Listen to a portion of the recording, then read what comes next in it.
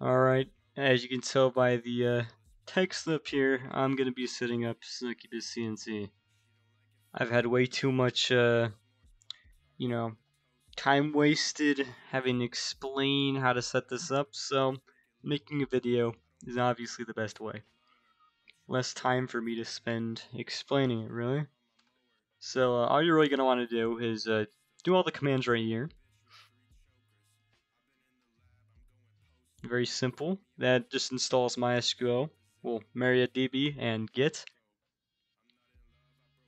Alright. And now we're actually going to set up our uh, password and everything. For most of these, you want to answer yes, just because it makes it all more secure. For my password, I'm putting root for simplicity's sake. And like I said, answer yes, because if you read most of those disallow uh, root login remotely, obviously you'd want to do that. I'm gonna get all my files for Succubus.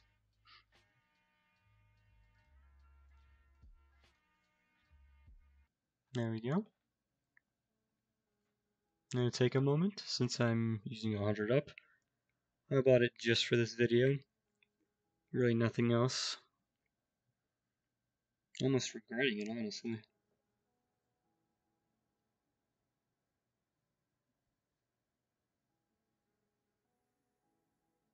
Alright.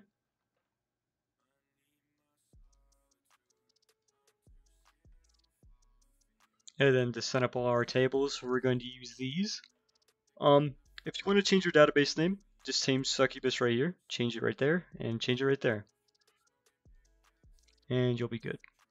And also, uh, when you're editing the actual config file, change it there. But most of you uh, probably don't care. As you can see. And then um, make sure your config is ready. So, I'm going to open our files.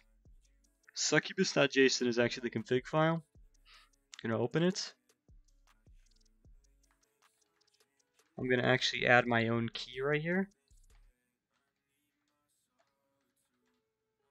And then I'm going to change my password. For a key, you're going to have to actually pay for um, whatever subscription you like. Um, I have currently three products you can pay for, which are licensed on um, Succubus, GIF, Gradients, or API over overhaul, which adds a good amount of things. So um, now that this is all ready,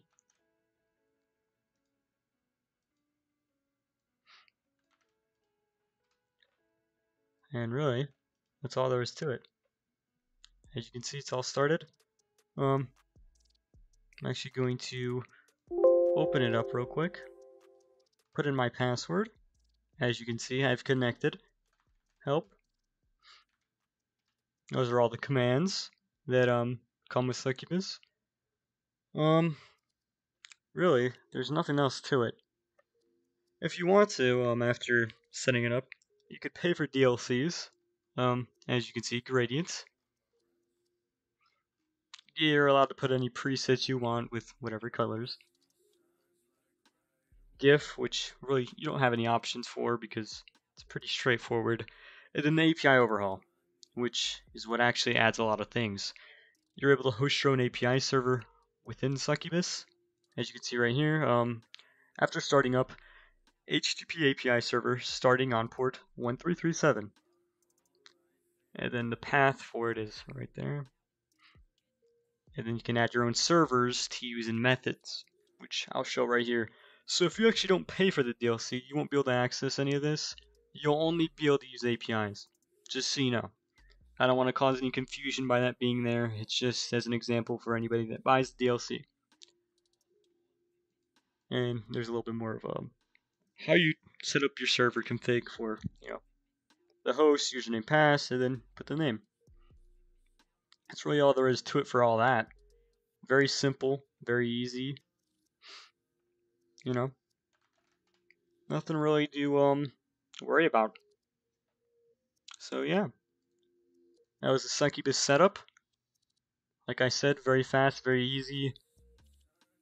I don't think anybody should really be having any trouble with this. Make sure you're using Debian 11. Um, don't use any builds from anywhere else. Get them from GitHub. That's really all I have to offer. Um, yeah. See ya.